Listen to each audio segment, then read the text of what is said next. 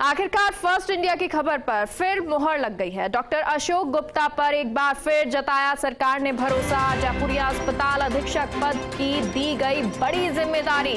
लंबे समय तक जेके लोन अस्पताल के अधीक्षक रह चुके डॉक्टर गुप्ता, दरअसल महिला उत्पीड़न की शिकायत पर पिछले दिनों हटाए गए थे अधीक्षक और डॉक्टर एस एस राणावत को हटाकर डॉक्टर धर्मेश शर्मा को दी गई थी अधीक्षक की ज़िम्मेदारी, लेकिन स्वास्थ्य कारणों के चलते डॉक्टर शर्मा ने जताई थी असमर्थता।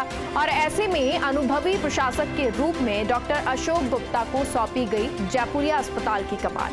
फ़र्स्ट इंडिया ने कल ही दे दिए थे जयपुरिया अस्पताल में नए मुखिया की नियुक्ति के संकेत। तो पहले ही फ़र्स्ट इंडिया ने ये संकेत दे दिए थे कि नए अधीक्षक जो हैं, वो आ सकते हैं। और हमारे साथ सहयोगी विकास जुड़ गए हैं। विकास तो कल ही ये बता दिया था फ़र्स्ट इंडिया ने कि अब अधीक्षक जो है वो बदले जाएँगे और एक बार फिर से फ़र्स्ट इंडिया की खबर पर मोहर लगी है। डॉक्टर अशोक गुप्ता पर एक बार फिर से सरकार ने भरोसा जताया।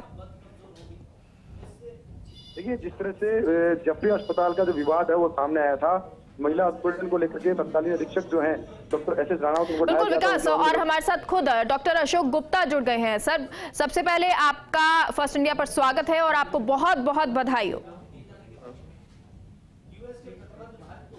धन्यवाद मैडम। सर वाकई में अच्छा भी लग रहा होगा और जेके लोन अस्पताल के अधीक्षक भी आप रहे हैं और अब अब ये जयपुरिया अस्पताल की जो ज़िम्मेदारी आपको मिल, मिली है उसको कैसे देखते हैं? चैलेंज है क्योंकि जयपुरी अस्पताल बहुत इम्पोर्टेंट हॉस्पिटल है हमारे गवर्नमेंट के लिए। और मेन सेंट्रल लोकेशन है और उसका मल्टी स्पेशलिटी हॉस्पिटल है। बहुत बड़ी ओपीडी है और इंडोर भी 500 बेड की एबिलिटी रखता है। तो चैलेंज तो ये कि इसको मतलब अच्छा करें और जो भी इसमें सुधार करने की मतलब संभावना है उनको पूरा करने की कोशिश करूँगा। जी। और एक, एक अच्छा है कि थोड़ा मेरे पास एक एक्सपीरियंस है एडमिनिस्ट्रेशन का हॉस्पिटल हम्म। हैंडल करने का इसलिए आने वाले समय में उसमें क्योंकि उसकी स्पेशलिटीज को और डेवलप करेंगे और लोगों के लिए कंफर्ट लेवल बढ़ाएँगे ताकि वहाँ हमारा फुटफॉल और बढ़े।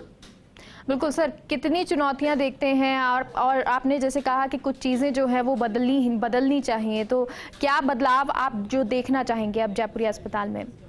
सबसे इम्पोर्टेंट तो यही रहेगा कि ये एक पेशेंट फ्रेंडली एनवायरनमेंट रहे, कि पेशेंट वहाँ आए और खुश होके आए और उनके लिए कंफर्ट और कन्वीनियंस बढ़ाएँगे ताकि कहीं भी उनको किसी भी पॉइंट पे ज़्यादा इंतज़ार ना करना पड़े और जहाँ भी उनको अगर इंतज़ार भी करना पड़ता है तो वहाँ उनके लिए कन्वीनियंस को विकसित करेंगे। टेक्नोलॉजी एडवांसमेंट की तरफ़ ले जाएँगे।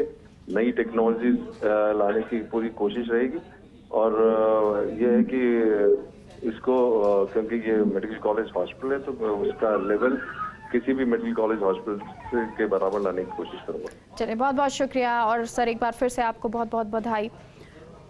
और हमारे सहयोगी विकास हमारे साथ जुड़े हुए हैं। विकास देखिए, कल भी हमने ये बात उठाई थी कि हो सकता है अधीक्षक बदला जाए जयपुरी अस्पताल का, और अब डॉक्टर अशोक गुप्ता पर सरकार ने भरोसा जताया है, उनको अधीक्षक बनाया है।